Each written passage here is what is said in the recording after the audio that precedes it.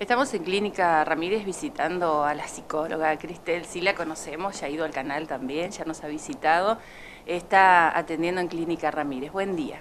Buen día, una alegría poder estar compartiendo con ustedes este momento, realmente eh, gozosa de poder eh, compartir el conocimiento y bueno, dispuesta a responder las preguntas que me hagan. Bien, eh, eso está bueno. Antes que nada, ¿qué días la encontramos en la clínica? En Ramírez estoy viniendo los días martes y los días viernes, ambos todo el día. Bien, bien. ¿Y las atenciones son para adultos, eh, adultos mayores, niños? Bueno, tenemos algunos niños, estamos atendiendo niños, adolescentes y adultos. Abarcamos las tres edades. Ah, bien, bien, bien. Eso es muy importante. La venimos a visitar em, por la cuestión de que em, hoy en día estamos viendo cómo vive el ser humano eh, vive una vida muy agitada, muy alocada, no tiene tiempo, está perdiendo el tiempo también eh, en muchas cuestiones o muchas situaciones que después cuando se da cuenta quizás es tarde, no se puede resolver.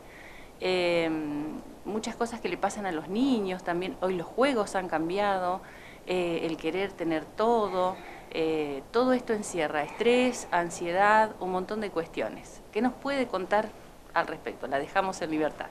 Es súper abarcativo lo que planteas, realmente me da ganas de hablar muchísimo sobre todos los temas que estás planteando, pero vamos a empezar, vamos a empezar por los chicos, si te parece, por los niños.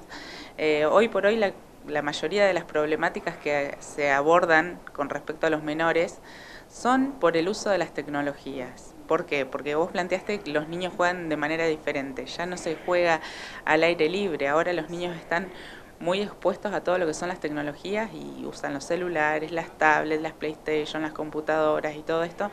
Entonces eso lamentablemente apaga la creatividad del menor y a la hora de que tienen que generar juegos por sus propios medios, eh, están bloqueados. Están bloqueados porque lo único que quieren es la tecnología que les trae todo generado y les, les altera, por así decir, eh, la parte de la creatividad de generar cosas nuevas porque están mimetizados únicamente con lo tecnológico. Entonces, en los chicos, lamentablemente, la mayoría de las veces eh, les genera ansiedad, les genera agresividad. Entonces, a la hora que quieren eh, jugar por sus propios medios, no, lo consiguen hacer. ¿Y qué pasa? Esto se vuelca también en el rendimiento académico, en la escuela, porque a la hora que tienen que prestar atención no pueden, están alterados, por así decirlo, y están inquietos, incómodos, se ponen a hacer otras cosas, se distraen. Y esas son la mayoría de las veces las consultas que más se abordan a los niños. ¿Qué pasa? Vamos a entrelazar esto que estamos planteando con por qué los chicos van tanto a las tecnologías, porque los papás estamos muy ocupados. Exacto, eso es lo que te quería decir. Y ahí, ¿quién tiene la culpa? Porque el bebé no nació jugando con el celular. Le damos un sonajero, le damos algo que haga ruido, con colores, que llame su atención. Hoy le damos el celular. El grande, el adulto, tiene la culpa. A ver, tratemos de no plantear desde culpas, desde culpas porque lamentablemente no son, no son términos que, que nos hagan bien. Eh, a ver, es lo que encontramos en el camino para eh, desligarnos, por así, de tirarnos al piso a jugar con ellos y demás, y no es culpa, o sea, a veces vivimos en un mundo tan ocupado, tan lleno de, de, actividades, de preocupaciones, la familia, el trabajo, las actividades extracurriculares, nos cargamos, nos cargamos, nos cargamos, nos cargamos de cosas que cuando los chicos nos están diciendo pa, ma, ma, pa, no les prestamos atención, toma, mira esto que yo estoy ocupado, toma, hace esto que yo estoy ocupado, pero no significa que seamos eh, culpables, o sea, lo, hacemos para pasar el momento que no, no podemos encargarnos de, de, darles la atención que los chicos necesitan. ¿Por qué? Porque justamente vivimos en este mundo lleno de ocupaciones, de preocupaciones, de actividades que hacen que eh, no podamos generar tiempos o espacios para nuestros hijos, hasta inclusive para nosotros mismos. Cuando vos me planteabas el tema de la ansiedad, sí, vivimos ansiosos, preocupados, ¿qué va a pasar mañana? ¿Qué vamos a hacer mañana? ¿Cómo vamos a resolver todas las actividades que tenemos para realizar? Entonces nos vamos cargando de preocupación, de preocupación, de preocupación y cuando llega la hora que tenemos que realmente ocuparnos de esto que estábamos tan preocupados, ya nos estamos preocupando por lo próximo que va a venir. Entonces automáticamente vamos... Eh, preocupándonos de las actividades que están por venir y no nos ocupamos del aquí y el ahora, de darnos tiempo para nosotros mismos, de conectarnos con nuestros deseos, con nuestras necesidades, con las cosas que nos hacen bien. Y eso lamentablemente nos va agotando, nos va agotando, nos va cansando, vamos empezando a decir qué pasa que de repente perdí la memoria, o sea, pequeñas cosas que me olvidé. Y yo a mí nunca se me pasaban antes las cosas, ¿cómo puede ser que me haya olvidado? O estamos súper irritables que nos dicen algo y automáticamente eh, saltamos, por así decirlo, de manera muy negativa y antes no lo hacíamos. O, por ejemplo, eh, estamos cansados porque durante el día estuvimos terriblemente ocupados, súper sobrecargados de cosas, de actividades, cumplimos con todo porque estamos mecanizados, porque somos mecánicamente funcionales. Pero a la hora de, de descansar, por ejemplo, llega la noche y tenemos que dormir y estamos con los ojos así, no podemos dormir tenemos insomnio. Entonces, ¿qué pasa? A ver, son un cúmulo de cosas que nos van demostrando que estamos llegando a algo, algo que no es normal. Por ejemplo, el tema de que las, las emociones se empiecen a aplanar, los afectos, en estar aplanados en lo que antes éramos súper cariñosos, de repente estamos, no estamos demostrando. Estamos llegando a lo que es un agotamiento emocional, que hoy por hoy es prácticamente común en la mayoría de las personas. Vivimos agotados, que el agotamiento emocional justamente es el eh, imponerse ser fuerte. Tengo que ser fuerte, tengo que poder con todo, tengo que lograrlo. ¿Cómo no me va a salir? ¿Cómo no puedo? Sí, sí, sí, sí, sí, sí. Es una, un desbalance de dar. Damos más de lo que realmente tenemos que dar. Así que, perdón. Sí, sí, sí, está bien. Pero eso hace que todo ese agotamiento emocional y todo eso hace que en un momento se hinchen los pies, te duele la cabeza, estés contracturado, te duela las piernas y vos digas, uy, ¿qué me pasa si me alimento bien, como bien, hago todo esto bien? No, esto pasa factura al cuerpo también.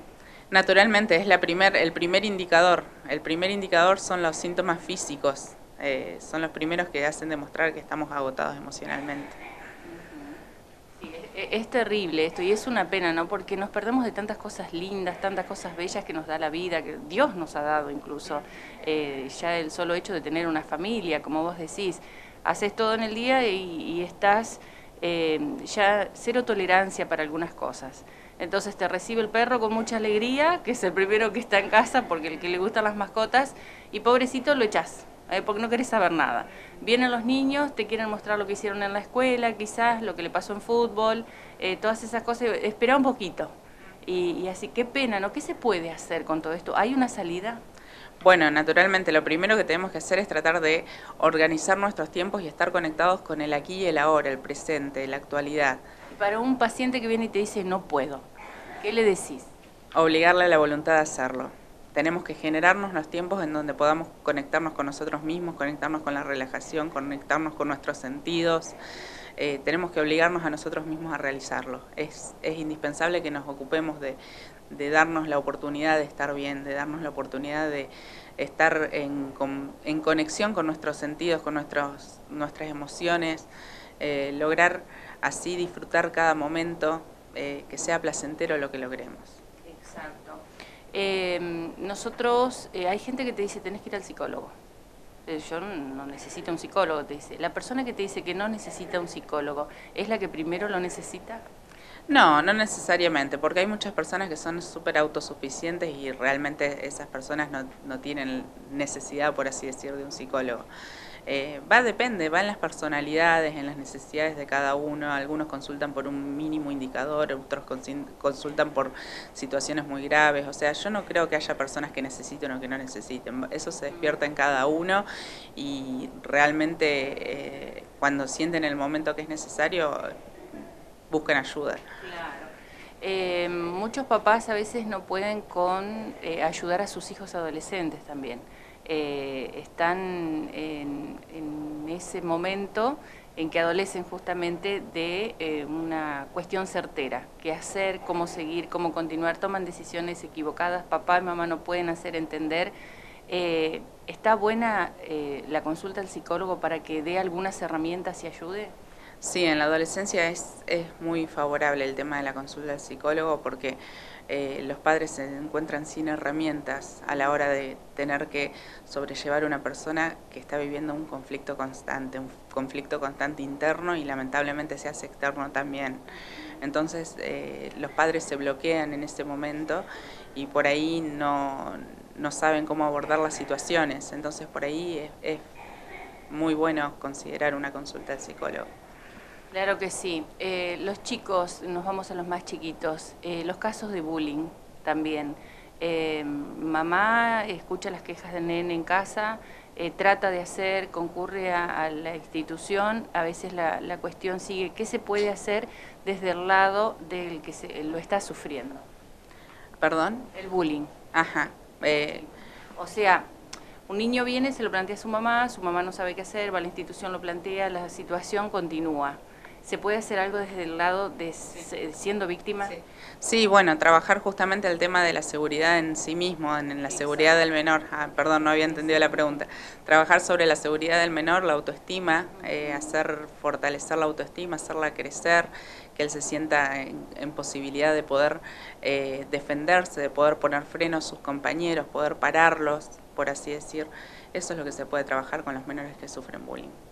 Qué bueno, qué, bueno escucharla, ¿no? Y saber que siempre hay, herramientas, hay una salida para todo y a veces eh, nos bloqueamos, como decís vos, y nos encerramos y no sabemos para dónde ir. Eh, Cristel está acá en clínica, eh, así que está bueno. ¿Qué hacemos con la gente grande que pierde un ser querido y que no lo asume, no lo acepta, se niega, se cierra a desprenderse? Bien, la realidad ante un ser querido, la pérdida de un ser querido es que tenemos que enfrentar un proceso de duelo. Los procesos de duelo, eh, duelo es igual a, tiempo, lleva tiempo, lleva su tiempo, eh, llevan sus etapas, cada persona hace su duelo de manera diferente. Eh, las etapas siempre son, son, las mismas, pero se dan en diferente orden, en la tristeza, la bronca, hasta que se logra la resignación. O sea, hay, hay ciertas partes que hay que pasar, que por ahí las personas eh, no quieren pasar esas etapas porque no están preparados o es tanto el dolor que sienten que no, no se ven posibilitados de decir ahora enfrento esto y sigo adelante. Entonces, eh, el duelo es un tiempo. Más allá del tiempo, ¿una consulta con el psicólogo también ayuda?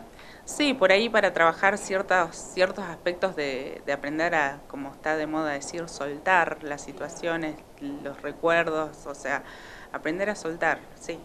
sí, sí, Qué bueno, ¿cuántos aspectos tiene esta, esta rama ¿no? de que eh, se pueden eh, encontrar soluciones? Otra pregunta, eh, falta de tiempo, ansiedad, intolerancia, bullying, tristeza, dolor, falta de decisiones. Eh, ¿Qué me puedes decir de mm, la fuerza espiritual, de la fe, de antes que nada poner a Dios en tu vida para poder después abrir tu mente, tu corazón y llevar todo esto adelante con fuerza? Bien, bueno, eh, si hablamos de espiritualidad, convengamos que es una de las patas de la mesa. Es imprescindible considerar a Dios en la vida. Eh, yo muchos tratamientos uso a Dios porque es parte del que guía todas las cosas, ¿no es cierto? Es el que realmente nos da la posibilidad de, confiar, de creer, de sentirnos que alguien nos escucha, que alguien nos, hace parte de él.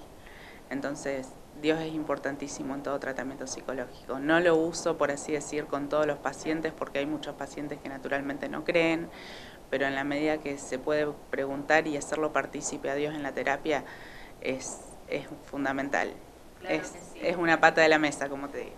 Claro que sí, gran cosa has dicho, es una pata de la mesa. Sin esa pata, nuestra fortalece nuestro espíritu, la verdad que flaquea bastante, ¿no? Y a veces no lo queremos aceptar, no lo queremos creer, pero es así. Y es un manotazo de ahogado cuando estamos muy ahogados ya, ¿no? Ahí realmente nos damos cuenta que sí está, que sí existe y lo buscamos. No hace falta llegar a ese límite. Es cuando llega el momento de preguntar, ¿y qué lugar ocupa Dios en tu vida? Exacto. Y ahí es donde uy, existía algo que no, no lo tenía en cuenta. Y que merecía el primer lugar. Totalmente. Ha sido una linda charla, no sé, me gustó, me encantó, pero no te vamos a sacar toda la información. Está bueno que la gente venga, que te conozca, el que no lo hizo todavía, que ir al psicólogo no es malo, al contrario, eh, se van a ir eh, contentos, fortalecidos con muchas herramientas para poder eh, afrontar las cosas diarias que tanto daño nos están haciendo. Realmente nos están haciendo daño como sociedad, como familia, al hogar, al trabajo, a, todo, ¿no? Totalmente, totalmente. Estamos viviendo lamentablemente en una vorágine terrible en donde por ahí no nos ocupamos de, darnos lugar a nosotros mismos de ser felices, sino de solamente funcionar. Una gran cosa has dicho. Una vez más, muchísimas gracias por recibirnos y por eh, contarle todo esto a nuestra audiencia. Muchas gracias a ustedes por el espacio. Estoy agradecida completamente de poder compartir con ustedes.